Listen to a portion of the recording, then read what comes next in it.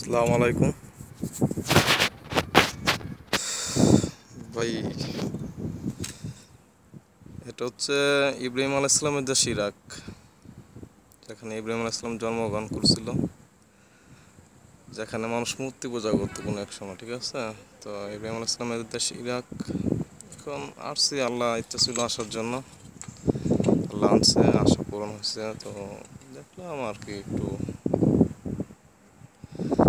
এখানে কনেকটেশনের কাজ চলতেছে, যুদ্ধের মধ্যে যারা চলে গেছে ডিরেক্ট ছেড়ে তারা আবার নতুন কুড়িটাকে ফিরে আসতেছে। এই যে কাজ কাম চলতেছে কনেকটেশনের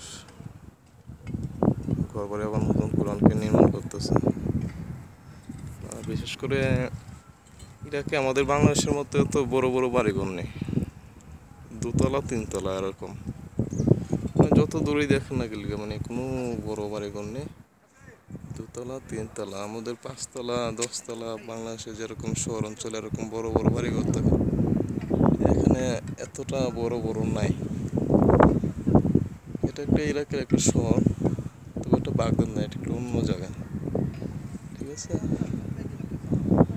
এই যে ইরাক, চতুর্দিকে আপনার যেখানেই দেখেন, সব ফাঁকা, আর এখানে গাছগাছালি খুব একটা এতটা নেই বাংলাদেশের মতো, খেজুর গাছ কিছু আছে। এসব খেজুর গাছ, আর সব খালি, খুব গরম। এখন বর্তমানে যেখানে আছে, এখানে তাপমাত্রা প্রায় এখন সকাল দশটা, সাড়ে দশটা হবে। তো এখন এখানে মনে তাপমাত্রা প্রায় পঁয়ত্রিশ ডিগ্রির মতো। তো আরও পরে আরও বেশি হয়ে যাবে, পঁয়তাল্লিশ ডিগ্রি, চল্লিশ ডিগ্রি এরকম হয়ে যাবে। তো এখানে একটি খেজুর বাগান দেখতেছেন। যাক এই দেশ খুবই ভালো লাগছে দেশে। মানে ইব্রাহিম ইসলামের দেশ। ইমাম হোসেন রাজুল্লাহ এখানে আছে। কারবালার জমিন। সব কিছু এই দেশে অবস্থিত। আর বিশেষ করে ওই দেশের এটি ঐতিহ্য যে বড় করে আব্দুল কাদের জিরানি রহমতুল্লাহ আলাই রওজা আছে এখানে। ইমাম হোসেনের হোসেন রাজুল্লাহ রওজা শরীফ আছে। হাসান রাজুল্লাহ রওজা শরীফ আছে। তো কারবালার জমিন আছে।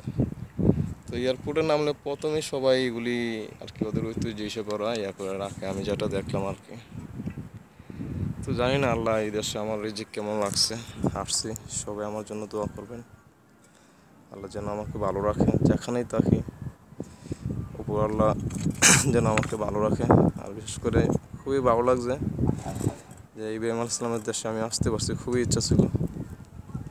ইরাকে আসার জন্য। তো আসলাম। আল্লাহ আশা পূরণ করছে। তো জানি না পরবর্তীতে আল্লাহ কী করবে। তো আমার জন্য সবাই সবাই দোয়া করবে যেখানেই রাখে, যেন ভালো রাখে। তো ভাই, আল্লাহ হাফেজ।